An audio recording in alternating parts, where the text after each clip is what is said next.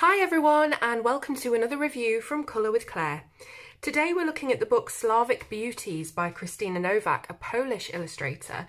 And this book has been out for a little while now and I've just managed to get my hands on a copy and it's absolutely beautiful, this book. Not only the illustrations, but the way that it's been made, the production quality, everything.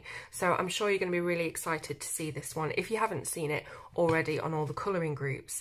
So the book is hardback as you can see it's got a really good hardback to it um, it's all full colour on the cover you can see some thumbnails there of the type of artwork you're going to get inside we've got a Polish um, sort of blurb on the back of the book and then the English version here and you can get it from Decomade which is a Polish website and I'll be leaving that link in the description. I've just noticed that I've got pen all over my fingers that I'm getting on the book because I've just been doing a different colouring project but um, you have to ignore that for now.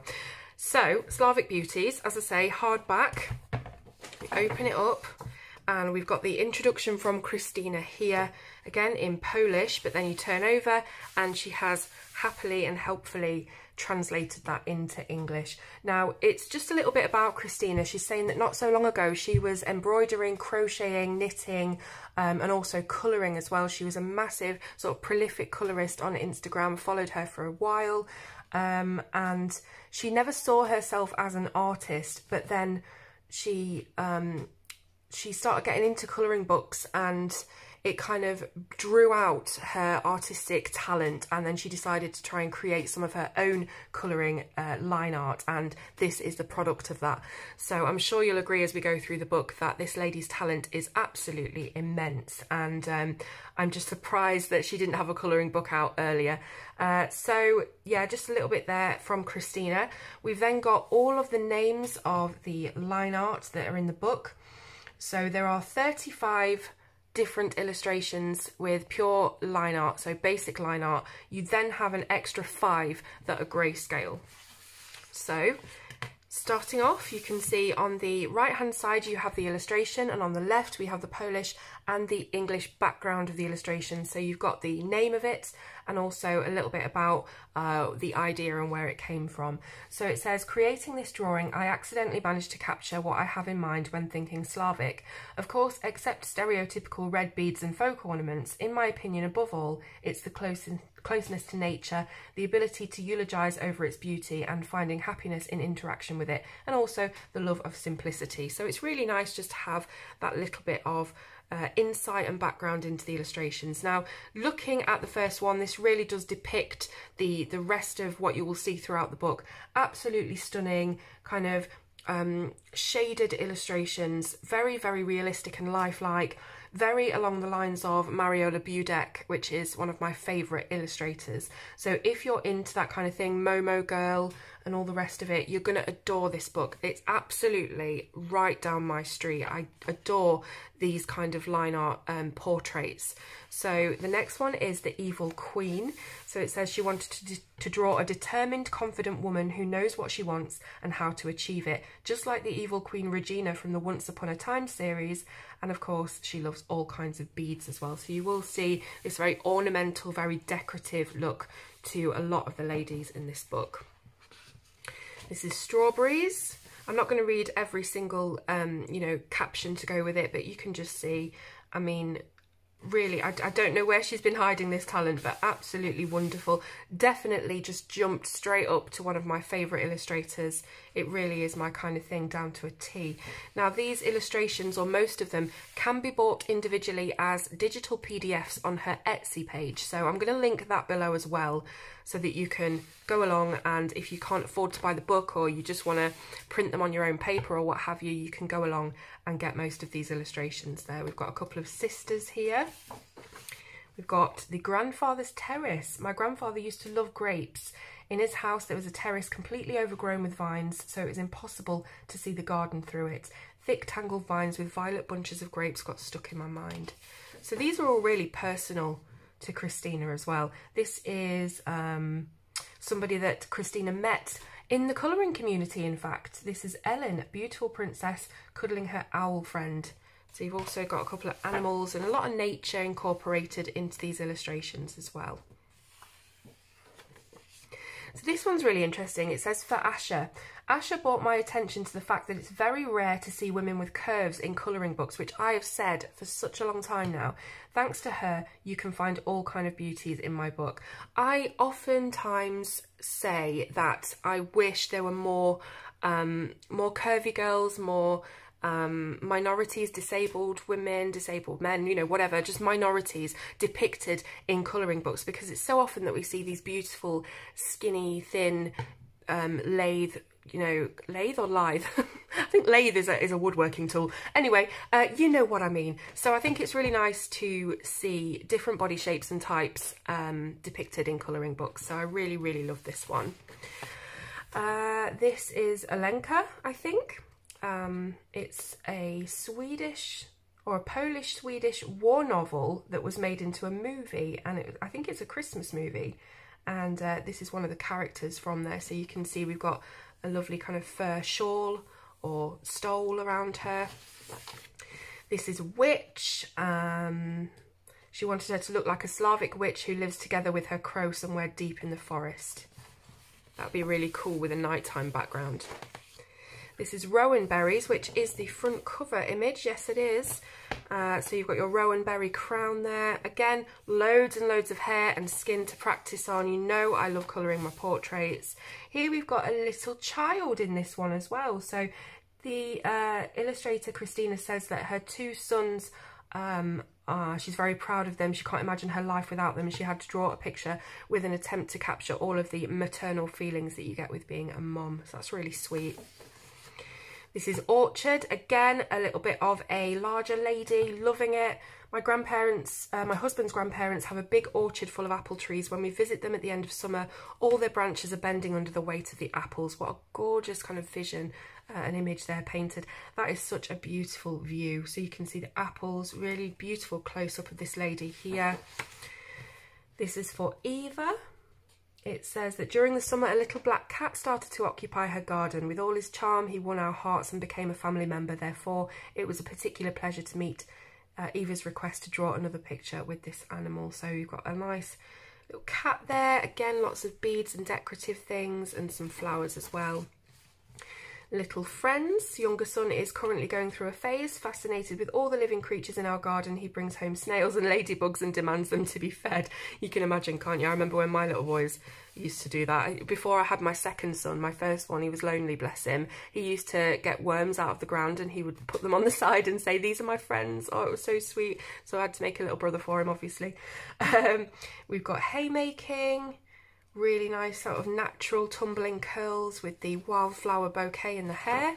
Again, another nice little frame around here too. This is for David, or I'm not sure how you would say that in Polish. Dawid, da? No, I don't know. But um, I really love how the cherries are just hanging over this lady's here, ears here, making some uh, decorative earrings. And uh, really liking the hairstyle on this as well, like this weaved um, hairstyle at the top of her head there. We've got Mouse Tower. So again, we've got some animals on here. This is quite a simple one. There's not too much going on. You've just got a bit of a um, kind of not fleur-de-lis. I always get mixed up with this. You know, you know what they are. Um, but yeah, again, beautiful, beautiful ladies. We've got Bingo because Krystyna used to have a dog named Bingo when she was a child. So uh, yeah, if you've got a dog, you're going to adore colouring this one. Maybe make it in the colours of your dog. This is gentleness. What a gorgeous illustration. The eyes that she's able to draw, it really looks out of the book towards you. Um, this is the uh, jewellery with a dandelion inside. So that's really sweet. It's like having a, a wish on you all the time, keeping your wish close to you. Really liking this sort of lace frilly detail as well on the, um, the hood. This is a squirrel. Until I met my husband, I used to live in a little town at the edge of the forest. That's why I had an opportunity to see these lovely creatures every day. So again, drawing lots of inspiration from Krystyna's life and her past. We've got a cow here, so this is all about the homestead, and I think that's really important in Polish life, farming and things like that, agriculture. So it's nice to have a little window, literally, into that kind of um, that kind of lifestyle thoughtful. I wanted the women in my book to look varied, which they really do, so I decided to draw a girl with short hair. Later it turned out that she resembles her mum, how sweet. So again, yes, I do feel there is lots and lots of variation in this book, not something you often find with portrait books. A lot of them can look really samey, same, same facial expression, uh, very similar hair, very similar body type, etc, etc. These are all really different. So this is Gold Duck, little sweet little duck there in her hands. Loads of hair to colour on that one and a bit more of a full body shot. Archeress, so if you like your fantasy colouring, your mythological stuff, I'm sure you'll be able to do a great job with this. So in this particular Slavic beauty, Krystyna wanted to capture bravery, self-confidence and determination, which I think she has definitely succeeded in doing. Again, we've got another larger lady here. My friend, uh, this is, oh, I don't know how you'd say this, ya ya Yayanka? I don't know. uh, friend David saw her for the first time. He instantly named her Yayanka, or what, however you say it. It's a character from a Polish historical novel, and uh, she had an ability to crack nuts in an interesting way. Hmm, wonder how she would crack the nuts. Let's have a look at this illustration. I'll let your imagination do the work there. Oh, here's the one that I've coloured, Saved by the Bell. So this is Stepmother. Probably it's not very trendy nowadays, Krystyna says, but I'm a fan of Polish historical trilogy written by Henryk, not even going to try and pronounce that name. So her next inspiration that she found uh, was in this movie here. A very similar scarf was worn by the guardian of Helena, one of the main characters. So here we go. This is the one that I've coloured, as you can see. I decided to use my Luminance pencils. I broke those out for a while. Uh, haven't had them out for a while. Um, and really, really enjoyed colouring with them actually. I'm so stuck on colouring with Prismas and Polychromos. I always forget about all my other different colouring pencil sets and I really need to start using them a lot more. Started using Artezas a lot more, uh, the Black Widows as well. But I really wanted to try and use my Luminance um, on a whole page. So Everything on this page is luminance except for the dark purple ombre gradient background, which is Neo Colours. So it's all Caran d'Ache products on this page. So I'm really, really, really pleased with how this turned out. It, it really surpassed my expectations and I'm currently decorating. As you know, I moved house about six, seven months ago. So I've decorated my bedroom in Moroccan um, colours, Moroccan. It's sort of a mishmash with Moroccan and Middle Eastern. So I've got loads of orange, red and purple in my room with little lanterns and decorative light shades and things like that. And this, I think, is going to be absolutely perfect framed and displayed in my bedroom because it really just fits with the theme and all of the colours and everything. Looks very Arabian and uh, yeah, just love it. So yeah, again, really pleased with how this turned out. Uh, had a lot of comments on social media since I posted this saying how do you get your Neo colours to look so solid. Um, I did post a video about this with the lion that I did from a Kerby Rosanes book and really the trick with Neo colours is you need to layer them. So the first layer that I put down looked absolutely nothing like this. Very, very streaky indeed. Then I waited for it to dry, put another layer on, wait for it to dry, put another layer on. Usually three layers does it. This was three layers, but you can keep building if it's not good enough. And uh, yeah, that's the trick really. But I tried to make it look, I don't know if the camera's picking it up, but uh, like an ombre. So it starts off with a very deep dark purple at the top and it sort of gradiates down to a more pinkish lighter purple. Um, but yeah, everything else was done with luminance and yeah, I just, I adore it. So this is Tell Me, Fields with Gold Fields with Gold Wheat is a beautiful view, especially if you can spot some poppies and cornflowers here and there. So just imagining a meadow with this one, loads of flowers, wheat stalks, corn stalks, etc. This is for Sandra, another wonderful person from the colouring community who gave Krystyna the idea for this picture and suggested that she draw a frog. So um, you've got the frog sat on top of her head. This girl's looking very, very surprised uh, to find him there. And uh, it does make sense because Krystyna says that she's, uh, she's not very fond of frogs and it makes her squeal when she sees them. This is Emma. So again, the Once Upon a Time series is mentioned. Uh, this is Brave Princess. So you can see she's got her sword, she's got her flowing hair. And uh, yeah, again, another one for you fantasy and mythological colorists. This is uh, another drawing inspired by Henry that we heard earlier. This is a character named Basienka maybe. a beautiful and brave girl who had to escape from the threat on a horse. And I really like how this one is contained in this very delicate border. So this is Slavic Beauty. This was Krystyna's first drawing, the beginning of everything. Very, very special drawing to her because thanks to this picture, you can hold your book, uh, this book in your hands right now. So this was her first sort of foray into drawing colouring pages and can you believe it? Really, honestly, if I tried to, if I attempted to draw something for the first time, it would not turn out anywhere like this one. But um, yeah, I'm so glad that she decided to start drawing self-portrait. So here she is, Krystyna, and she's saying that she consciously, sorry, unconsciously, constantly touches and plays with her hair, which I do all the time. You know, you've not, this is a bit TMI, well, it's not really TMI, but you know, you've not washed your hair for a few days, getting a bit greasy. I just sit there twiddling it, twiddling it, twiddling it. I plait it, I unplait it. I'm constantly playing with my hair. That's probably why I uh, have loads and loads of split ends. But anyway, there's Krystyna. Now we're moving on to the last images in the book, which are the grayscale images. Now these are ones you've seen previously further up in the book, but they are grayscale. So there's a little bit of grayscale in here for those of you who love colouring grayscale. And also if you haven't tried your hand at it yet, you've got a few little images for you to have a go with in the back. So we've got that cover image there. We've got the archeress.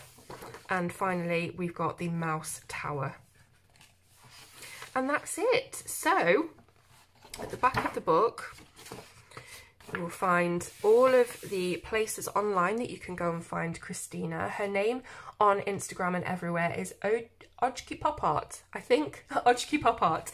Uh, so go and find her and follow her everywhere. You've then got all of your copyright bits and bobs and that is it. Now, physically, the book, you can see how thick this is. I mean, it's got, what, 40 illustrations, but it is incredibly thick for 40 illustrations.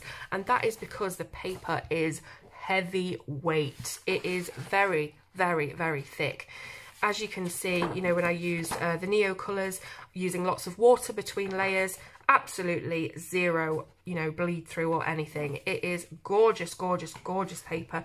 Um, honestly, probably some of the best paper I've come across for colouring on. It has a very, very light tooth. It's not uh, smooth at all, but it's not rough and too sort of toothy for pencils um, to look, you know, smooth on. It is a perfect paper stock. I adore it. Um, what else can I say? It has beautiful sort of very, very light ivory pages. I wouldn't say that they're pure white. I, I think they're light ivory, um, but not creamy or anything. And just, I'm just so impressed. This is one of my favourite colouring books now, I have to say. Um, you know, and it's not something that I say a lot because I, I have reviewed a lot and lot of colouring books over the five years that I've been doing this.